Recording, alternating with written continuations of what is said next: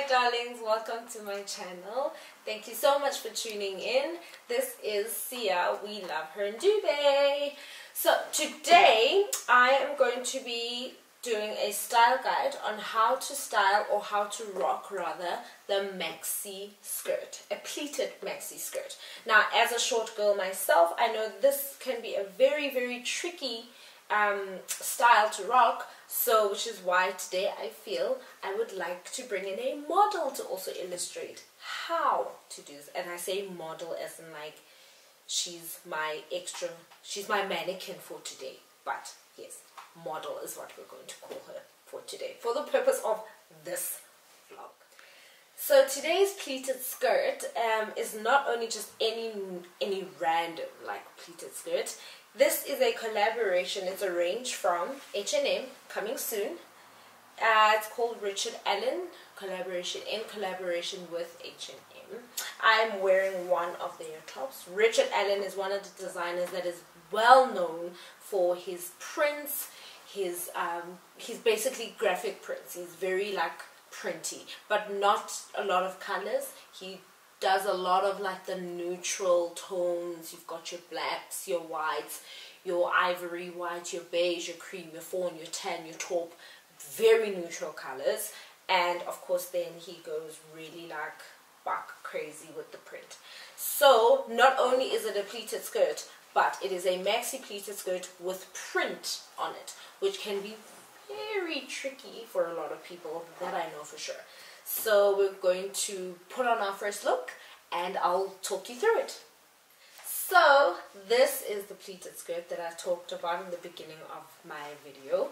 It is quite long. It's the Richard Allan, woo, Richard Allan in collaboration with H&M uh, collection.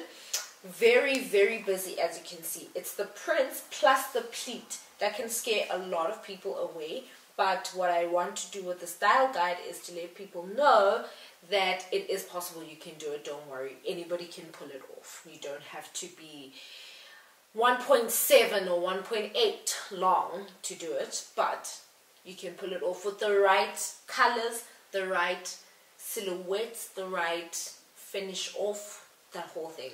You can pull it off. Um, it is quite long, as you can see. It's a maxi.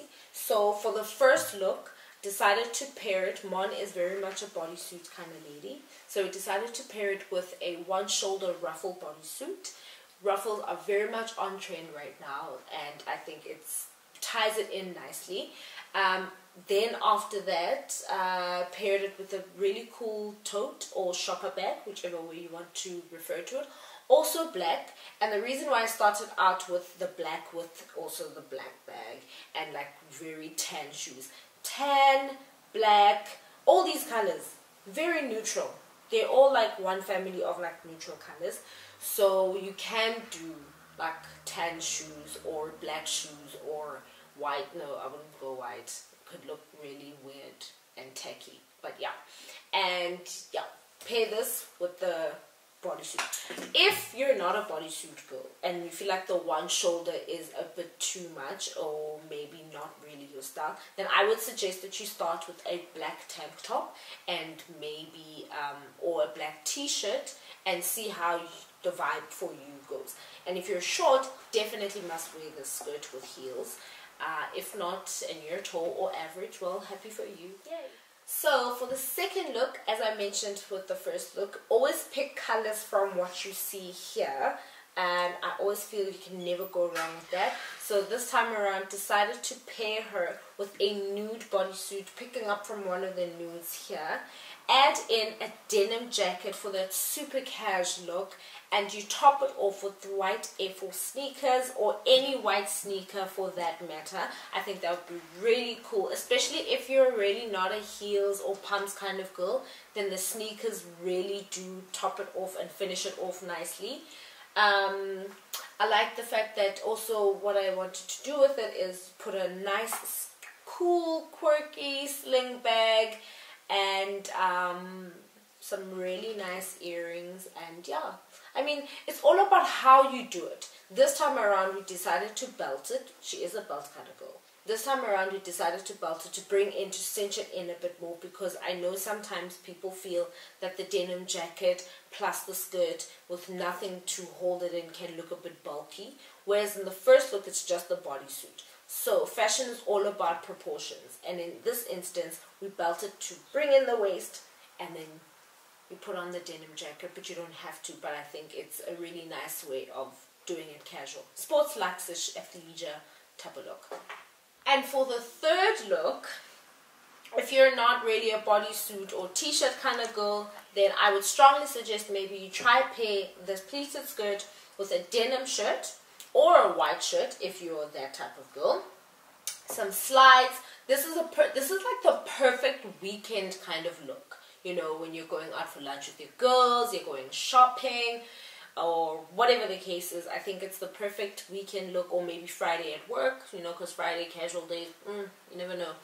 Um, with some slides or with pumps or mules. I think mules and slides are very, very on trend, and you can look.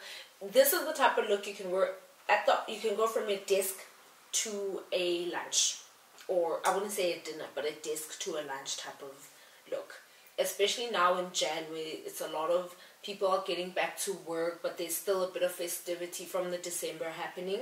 So, denim shirt or a white shirt, uh, the pleated skirt, some slides or mules, really cool, dope, minimalistic accessories. Now, Mon is very much a turbans kind of girl, so this time around we paired it with the turban, but a turban that doesn't isn't too far off the colors from the skirt, which is a bit of like the family of yellows will work and lastly a really cute bag like a nice little dainty bag. And yeah you're good to go.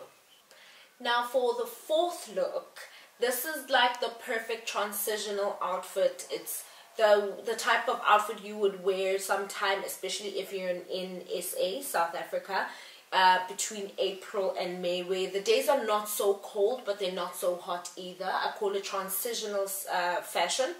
You wear the pleated skirt with again a sweater that picks up colors from here. Now, I personally would tuck the sweater in because obviously of my proportions, but I loved it on Mon and how we put it over the pleated skirt and I've seen quite a lot of people do that also. It's become a very prominent trend where the sweater goes over the maxi pleated skirt. Um, for a bit of shape, add in a belt nice dainty belt. Don't you can do the thick belt depending on the type of figure you have, but because Mon has got an athletic body, we did a thin belt. But if you've got a pear-shaped body, I would suggest that you do a bit of a thick belt, like well, I don't have an example now, but yes, for this one, only because the sweater can be quite chunky, and if you are bottom heavy, then the thick belt cuts you off nicely. But if you're athletic body like Mon is, then the thin belt creates some shape. So it's all about illusion. It's all about playing around with it. And uh, black boots picking up from the skirt again. And a really nice, cute, nude, slim bag. As you can see, most of the looks have got really like minimalistic bags, not too big. The one look had a big shopper bag only because of how plain it was on top. So you always have to bring in an element of statement. But yeah, perfect transitional fashion outfit. So for the fifth look, we decided to pair the pleated skirt, picking up again colors from the skirt, a black blazer. But if you want, you could always do it with, I think pink would go very nicely with it, like a faded blush pink. Or if you're safe, you could go with a white or black. And it has to be the boyfriend or masculine oversized blazer because again we needed to go over the skirt. We needed to go over the skirt not too long but also not too short either. I think it looks super sexy if you do it with absolutely nothing underneath. If you've got boobs that are still nice and perky then absolutely nothing. But if you are a little bit on the conservative and safe side i would suggest either a bralette or um, like a really low cut neckline type of um, t-shirt. Yeah, not a shirt. A blouse, maybe if you can find a blouse like that, it will be perfect. It'll look great.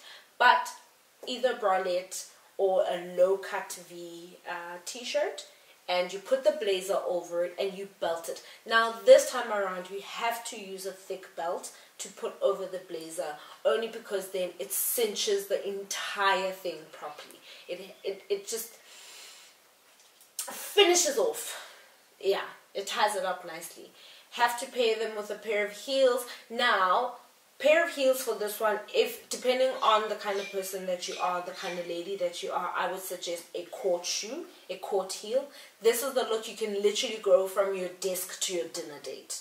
It it if you're wearing it to the office you can have a top or shirt underneath and then if you're not and if you're done you literally just take off what's underneath put on the blazer you put on the belt and you're gone to dinner and you're going to slay nobody can tell that you're just from the office I would suggest though if you are going from the office to a dinner, you do the big earrings, which is what we did with Mon for this look. We paired it with really cool big statement earrings.